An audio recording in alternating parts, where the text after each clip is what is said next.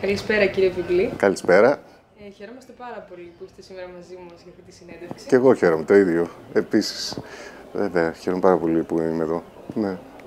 Ωραία. Ε, θα θέλαμε να ξεκινήσουμε με κάποιες γενικές ερωτήσεις. Ε, Ναι. Για παράδειγμα, πώς προέκυψε στη ζωή σας ε, η μετάφραση; Η μετάφραση, ε. ε μ, στη ζωή μου προ- έχει προκύψει η σχέση με το λόγο από πολύ νωρίς, με τη γραφή, είτε που έχει πάρει διάφορες μορφές κατά καιρούς, κυρίως βέβαια δημοσιογραφική, πάρα πολλά χρόνια, ε, αλλά δημοσιογραφική που είχε να κάνει με το βιβλίο και, μ, ε, και, και λιγάκι ε, λοξά και συγγραφική. Έχω γράψει κάποια διηγήματα, σκόρπια από εδώ από εκεί ε, και βέβαια με το, την ανάγνωση, το διάβασμα. Είναι κάτι φυσιολογικό για μένα και αυτό είναι μία, ε, μ- μία ακόμη πλευρά της ενασχόλησής μου με το βιβλίο. Πολύ ωραία. Ε, δε- ε, επομένως, για σας, τι σημαίνει μεταφράζω; Μεταφράζω σημαίνει μεταφέρω το λόγο ενός άλλου στη δική μου γλώσσα, ε, το οποίο είναι σύνθετο. Δηλαδή, ε, πρέπει ταυτόχρονα να κάνεις μια δουλειά η οποία δεν ε, ε, είναι δημιουργική, αλλά πρέπει να μην το παρακάνεις, να μην είσαι δηλαδή ένας δημιουργός σε μεγαλύτερο βαθμό από αυτόν που πρέπει να είσαι. Ε, πρέπει να υπηρετείς το λόγο του άλλου και ταυτόχρονα το βλέμμα του Έλληνα αναγνώστη. Δηλαδή έχεις ε, δύο στοιχήματα ταυτοχρόνως να κερδίσεις. Αυτά είναι να μην προδώσεις το ύφος του συγγραφέα τον οποίο μεταφράζεις και το άλλο είναι να φτιάξει ένα κείμενο το οποίο να μπορεί να διαβάσει άνετα ε, ένας Έλληνας αναγνώστης, ιδανικά ε, να φτιάξει ένα κείμενο το οποίο θα μπορούσε να είναι, να είναι γραμμένο κατευθείαν στα ελληνικά. Και όσον αφορά τα κείμενα που έχετε μεταφράσει, τι είδους μεταφραστικά προβλήματα συναντήσατε εκεί, τι είναι το, τι είναι το πιο Ε, δύσκολο για ναι. ένα μεταφραστή; Να σας πω, υπάρχουν ε, πολλές δυσκολίες. Η δυσ- ε, μία δυσκολία είναι να, ε, ο- το γεγονός κα, καταρχάς ότι ο- ο- ξέρουμε καλύτερα τη γλώσσα στην οποία, προς την οποία μεταφράζουμε από τη γλώσσα ε, την οποία μεταφράζουμε. Δηλαδή, α- αυτό είναι ε, εξορισμού συμβαίνει, εκτός αν είναι κάποιος τε- εντελώς δίγλωσσος ε, από γεννησιμιού του. Άρα, δηλαδή, θέλει μια δουλειά σε βάθος για να σιγουρευτείς ότι μία λέξη είναι, ε, τη- ε, έχει τις τάδε, ας πούμε, ε, πώς να πω, συνδηλώσεις ε, και μία άλλη έχει κάποιες άλλες. Ή μία λέξη είναι λόγια και μία άλλη λέξη είναι πιο λαϊκή, ακόμα και αργό. Στην περίπτωση, ας πούμε, του Ερικ Βιγιάρ που έχω μεταφράσει τελευταία, αυτό είναι ένα πολύ δύσκολο πρόβλημα. Δηλαδή, ο συγγραφέας αυτός χρησιμοποιεί στην ίδια φράση λέξεις λόγιες και λέξεις της αργό. Και το κάνει επίτηδες και το θέλει έτσι. Πρέπει, επομένως, δεν αρκεί απλώς να ξέρεις το νόημα μιας λέξης, πρέπει να ξέρεις και ποια και τι είδους λέξεις θα χρησιμοποιήσεις στη μετάφραση, οπωσδήποτε. Αυτό είναι ένα σημαντικό πρόβλημα. Ένα άλλο που έχω συναντήσει και υπο- το υποψιαζόμουν ε, πριν αρχίσω να μεταφράζω, αλλά έγινε βεβαιότητα, είναι ότι αντίθετα με το ότι ε, μας αρέσει να λέμε συνήθως ε, προς τα έξω ότι η ελληνική γλώσσα είναι μια η πιο πλούσια γλώσσα στον κόσμο και τέτοια, ε, ωραία. Ε, στην πραγματικότητα η ελληνική γλώσσα έχει διάφορα προβλήματα τα οποία έχουν και λόγο ε, να υπάρχουν. Δηλαδή ε, το γεγονός ότι από τη γέννηση του ελληνικού κράτους ε, φτιάχτηκε μια τεχνητή γλώσσα η καθαρεύουσα, στην οποία δόθηκε μεγαλύτερη βαρύτητα, ιδίως από το από το σύστημα το καθεστωτικό, θέλω να πω, δηλαδή ε, στη δικαιοσύνη, στη, ε, ο επίσημος λόγος ήταν ε, της καθαρεύουσας, άρα ο, ε, η γλώσσα η οποία εμπλουτιζόταν περισσότερο και έπαιρνε, ε, και, έπαιρνε, και είχε πηγές και τροφοδοτήτο από τα αρχαία ήταν η καθαρεύουσα. Η, η δημοτική προσέχτηκε πολύ λιγότερο και μ, το αποτέλεσμα είναι ότι ενώ είναι η ζωντανή γλώσσα του, του ελληνικού λαού, η δημοτική φυσικά και όχι καθαρεύουσα, να έχει ελλείψεις. Ε, και έχει ελλείψεις ακόμα και σήμερα, το ξέρουμε, και γραμματικές. Δηλαδή υπάρχουν ρήματα που δεν έχουν παρατατικό. Ε, μετά από 200 χρόνια χρήσης ε, και επίσημου ελληνικού κράτους. Ε, θέλω να πω υπάρχουν διάφορα τέτοιου τύπου προβλήματα και βλέπει κανείς παράδειγμα στα γαλλικά. Είχα συναντήσει ένα βιβλίο ε, του Φρανσουά Ρου. Υπήρχε, υπήρχε μία περιγραφή. Ε, ήταν κάποιος ο οποίος πουλούσε μαχαίρια, όργανα κοπής και υπήρχαν 15 ρήματα 15 ρήματα που όλα στο λεξικό μεταφράζονταν κόβο. Ε, στα ελληνικά υπάρχει κόβο, τεμαχίζω, πετσοκόβο. Στα γαλλικά υπάρχουν 15.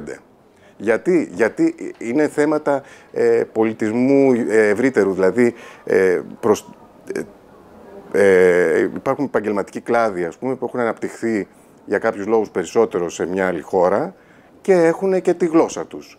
Δηλαδή, εδώ πας σε ένα κρεοπόλι και ο κρεοπόλης κόβει το κρέας με τη χατζάρα, ας πούμε, με τον τρόπο που το κόβει. Στη Γαλλία ε, το κόβουνε, είναι ολόκληρη επιστήμη το κόψιμο του κρέατος. Άρα είναι λογικό να έχει 15 ρήματα για το ρήμα κόβο, ας πούμε. Τέτοια, τέτοιου τύπου προβλήματα υπάρχουν αρκετά.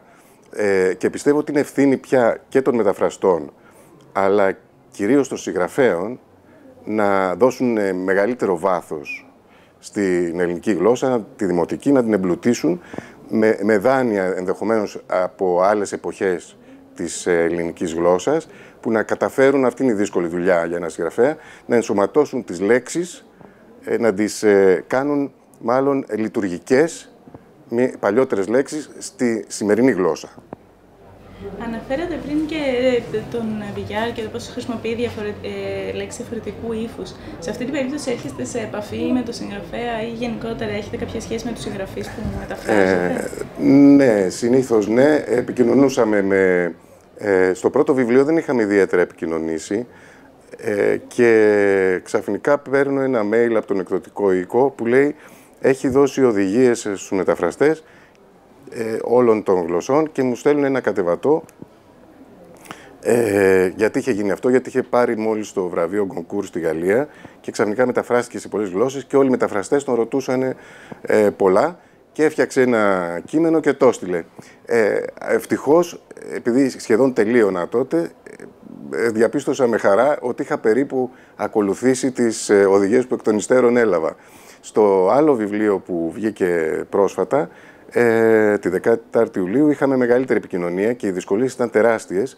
Γιατί, γιατί περιέγραφε μια εποχή για την οποία εμείς δεν έχουμε ε, καθόλου ε, αντίστοιχες λέξεις στο γλωσσικό μας όργανο. Δηλαδή, ε, μπορεί να περιέγραφε, παράδειγμα, ε, όπλα της εποχής της Γαλλικής Επανάστασης.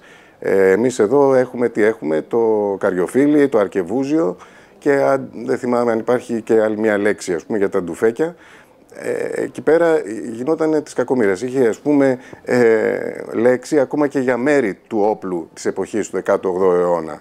Ε, πολύ δύσκολη υπόθεση αυτή. Και αν δεν υπάρχει, δεν μπορείς να το βρεις πουθενά, αναγκαστικά πρέπει να κάνεις μια προσαρμογή άλλου τύπου. Ε, οπότε,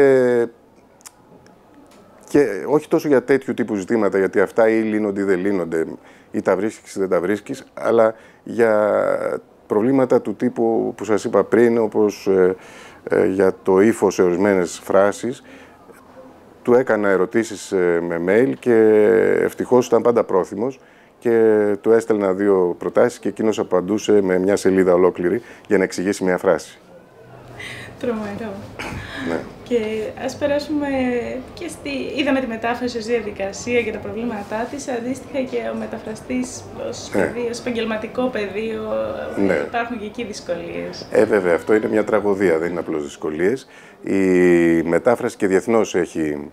είναι μια δουλειά κακοπληρωμένη, υποαμοιβόμενη, ε, και εδώ στην Ελλάδα επίσης και μάλιστα στην εποχή της κρίσης ακόμα χειρότερα πήγαν τα πράγματα. Ε, νομίζω ότι θα πρέπει να, να υπάρξει διεκδίκηση, δηλαδή καλύτερων αμοιβών, πρέπει να επέμβει και το κράτος σε αυτό.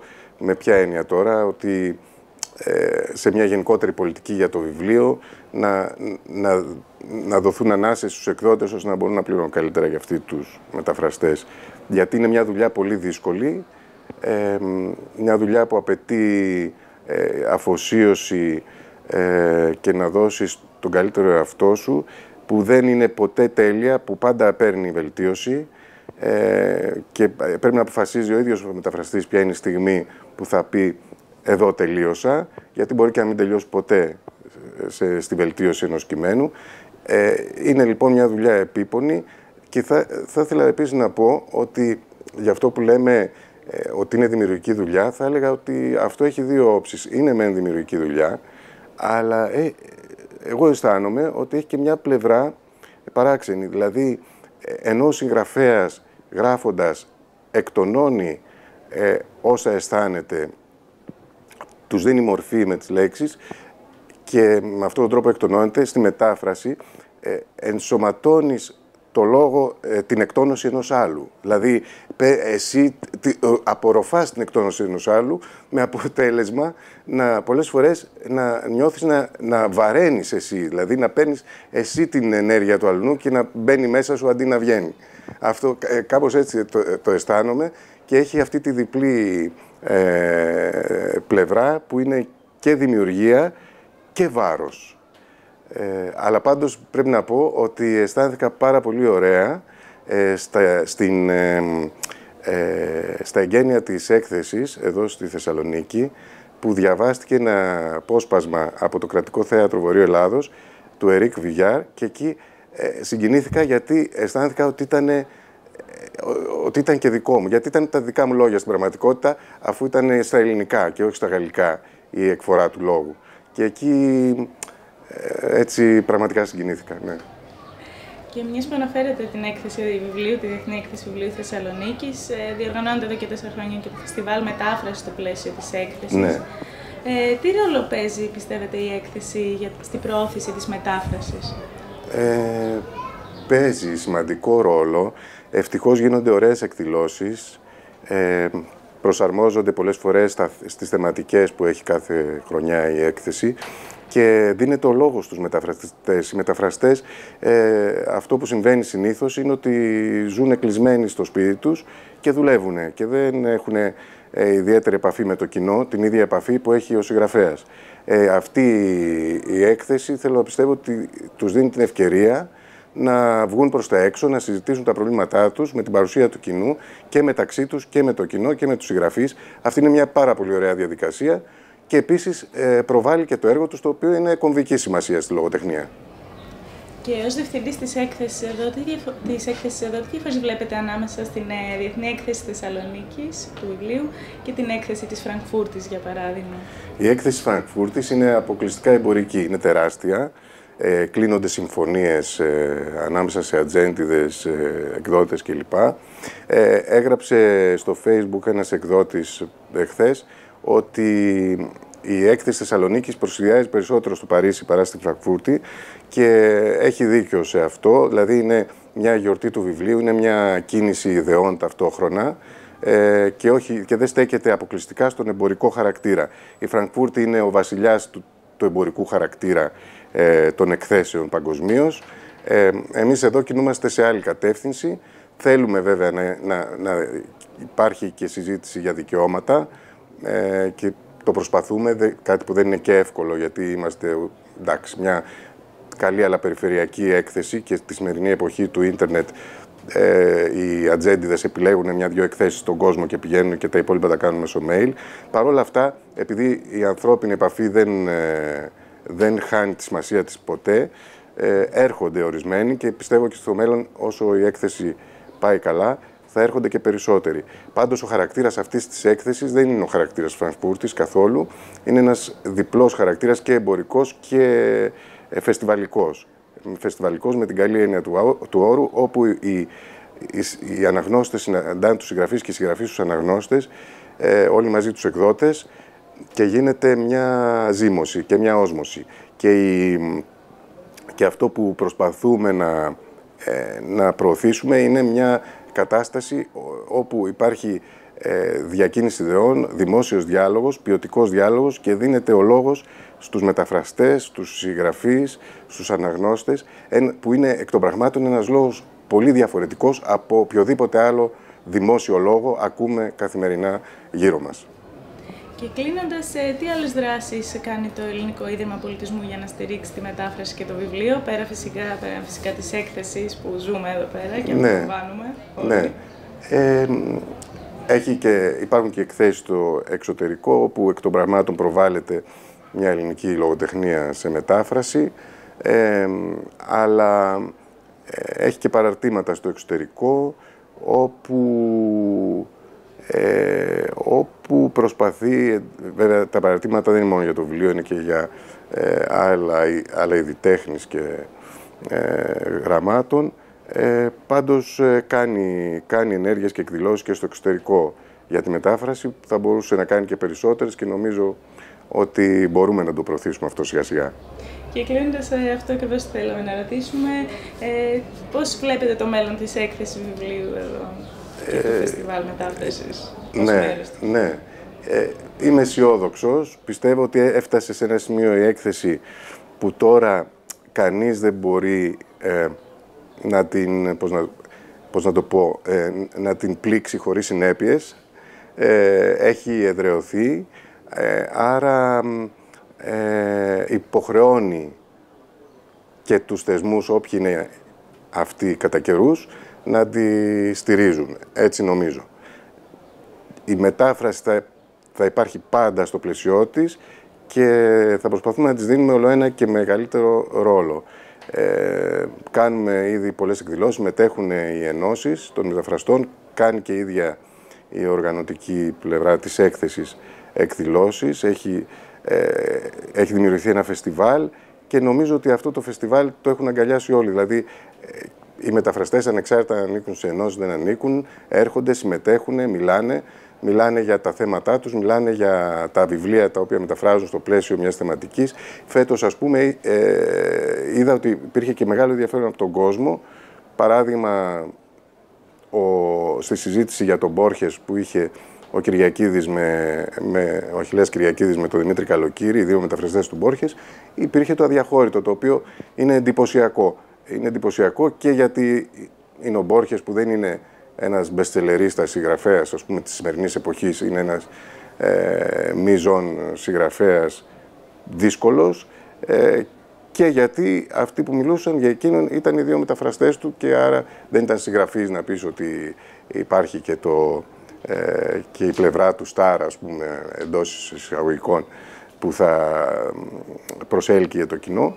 Ε, άρα δηλαδή το θέμα ενδιαφέρει, όπως ενδιαφέρει το βιβλίο. Ε, ε, το βιβλίο είναι τα πάντα μαζί. Δεν είναι χωριστά ο συγγραφέας, χωριστά ε, ο εκδότης, χωριστά ο μεταφραστής. Αυτό προσπαθούμε να δείξουμε, ότι είναι όλα αυτά το, το βιβλίο και είναι όλα ισότιμα. Ευχαριστούμε πάρα πολύ. Να είστε καλά, να είστε καλά και εσείς. Ευχαριστώ και εγώ.